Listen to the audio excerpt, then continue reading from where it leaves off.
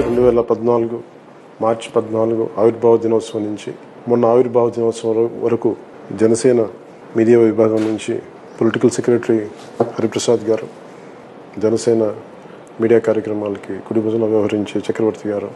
పాలిటిక్స్లోకి రాకముందు నుంచి నాకు ఎంతో ఆత్మీయంగా నాతో మెలిగే సన్ సాన్ని అత్యంత సాన్నిహిత్యంతో ఉండే వేణుగోపాల్ గారు.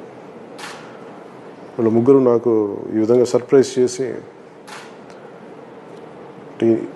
రెండు వేల పద్నాలుగు మార్చి పద్నాలుగు నుంచి ఈరోజు దాకా మొన్న ఆవిర్భావ దినోత్సవం వరకు దాదాపు ఏడు వాల్యూమ్స్ జనసేన ప్రస్థానం ఎన్ని రకాలుగా ప్రజా కార్యక్రమాల్లో పాల్గొంది ఏమేమి మాట్లాడడం అన్నిటిని అక్షరబద్ధం చేసి నాకు వీటిని ఏడు వాల్యూమ్స్లో నాకు ప్రజెంట్ చేశారు.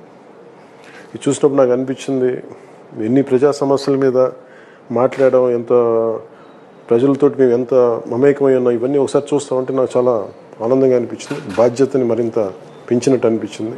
ఒకసారి మాటిస్తే అది శాసనం అయిపోద్ది రాజకీయాల్లో ఉండేవాళ్ళకి సో మాటని కన్వీనియంట్గా మార్చలేము ఎలా పడితే అలా. నాకు ఇది ఒక దిక్సూచిలా ఉంది పుస్తకాలన్నీ. ఏడు వాల్యూమ్స్ చూస్తుంటే సిక్కోల దగ్గర నుంచి ప్రతి జిల్లాలో ప్రతి ఒక్కరితో మాట్లాడింది చిన్న చిన్న నియోజకవర్గపు సమస్యల దగ్గర నుంచి రాష్ట్ర సమస్యల వరకు అన్నిటినీ మాట్లాడడం అని ఎలా మాట్లాడడం ఏ పరిస్థితుల్లో మాట్లాడడం భవిష్యత్తులో వీటికి ఎంత బాధ్యతగా ఉండాలి అవన్నీ తెలియజేస్తూ ఉంది. అందుకని మనస్ఫూర్తిగా హరిప్రసాద్ గారికి చక్రవర్తి గారికి వేణుగోపాల్ గారికి మనస్ఫూర్తిగా నా కృతజ్ఞతలు తెలియజేసుకున్నాం. థ్యాంక్ యూ సార్ చాలా చాలా బాధ్యత తెలిసి నాకు ఆనందం కంటే కూడా భయం బాధ్యత రెండు ఇచ్చారు నాకు. Thank you sir thank you very much thank you madam thank you